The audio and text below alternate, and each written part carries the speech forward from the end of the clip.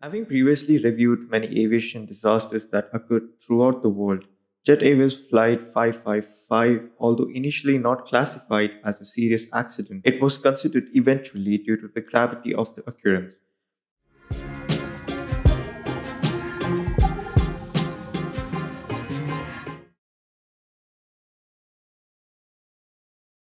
Before we get into what happened, let's go over what go around implies because we will be referencing it a lot. A go around, which is an aircraft maneuver, simply discontinues a landing approach as depicted. There are numerous reasons why this occurs, such as an obstruction on the runway, the aircraft not being in the proper configuration, or anything else that the crew deems dangerous to the safety of the passengers and the aircraft.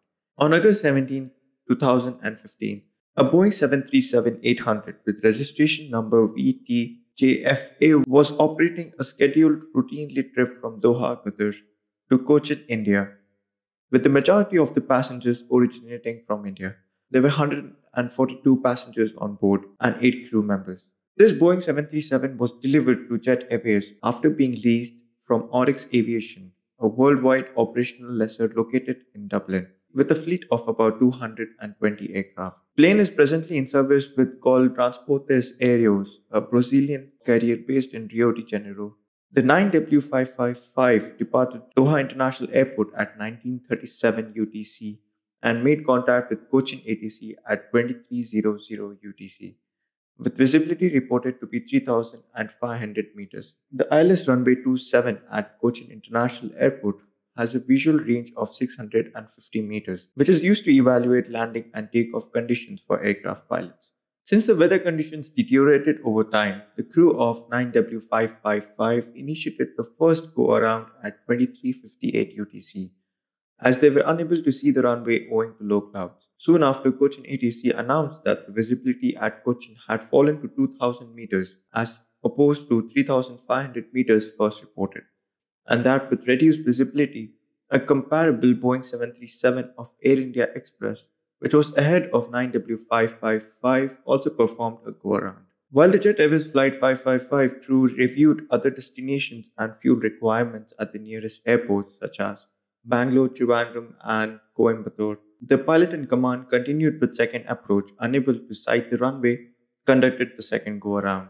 Because the minimum legal needed fuel for the trip was 16,100 kgs, 9W555 was actually dispatched with 15,295 kgs due to fuel policy, predicted weather, and other delays. The minimum diversion fuel for Flight 555, which is the bare minimum of fuel required by law to be on hand at the missed approach point for the runway at the destination airport, was 3,919 kgs, which was more than enough for Bangalore as an alternate destination but the pilot in command chose Trivandrum as its final destination. 9W555 initiated a third approach to ILS runway 27 at Cochin 33 minutes after the second go around. However, the crew was unable to sight the runway again, as visibility had dropped to 1500 meters in mist and low clouds at 400 feet. Since the weather in Cochin was deteriorating, the pilot in command chose Trivandrum as an alternate destination at 0017 UTC soon after making contact with Trivandrum ATC. The visibility decreased to 1500 meters. It appears like 9W555 has had a string of bad luck.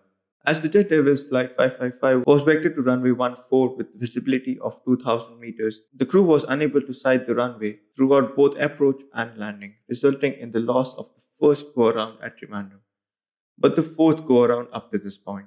Once the go around was completed, the pilot in command requested a right hand visual circuit for runway 14 and turned base. Unlike the previous approaches made by the crew of Flight 555, this time they were fortunate to see the runway inside but since they were too high and it was too risky, they chose to initiate the second go around. All the while, the crew attempted to land the Boeing 737. They were depleting the fuel on board. With all the go arounds and holding patterns, 9W555 fuel had dropped to 1300 kgs, down from 15,295 kgs when it was first assigned. Following the second go around, the pilot in command requested a circling approach for the runway 14 at Trivandrum, but were not aligned with the runway and were late in sighting resulting in the third go around at Trivandrum and the sixth overall.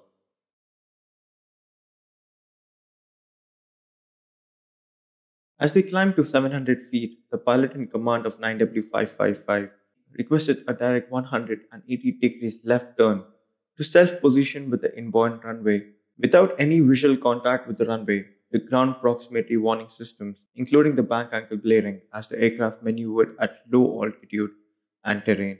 The crew, which is now the seventh approach, landed safely at Trivandrum International Airport. The 142 passengers and 8 crew members on board were all unharmed. There was no fire or damage to the aircraft. After refueling in Trivandrum, the crew flew the passengers back to Cochin. Following the inquiry, the investigative board reached the following conclusions and probable causes. The pilot in command chose the destination Trivandrum over Bangalore, despite the fact that Bangalore had better weather conditions and minimum diversion fuel was greater than the needed quantity. The pilot in command also chose to ignore the multiple ground proximity warning systems on the last, which was the seventh approach, putting passengers and aircraft's life in jeopardy. The Airways Operation Handbook or the policy made no mention of the number of approaches that must be completed before considering a diversion and redesignating an alternate destination. As with many such air mishaps, suggestions are always given to prevent similar occurrences in the future. The DGCA, the Civil Aviation Authority of India, advised that Jet Airways create a policy on the number of approaches and missed approaches in severe weather. The Aviation Authority also urged Jet Airways to incorporate low fuel situations into the pilot simulator training sessions. Despite the fact that Jet Airways ceased operations on April 17, 2019, after being in business since 1993, the airline maintained an exceptional record in flight safety, resulting in no significant aviation tragedies. I hope you leave a like and subscribe to my channel.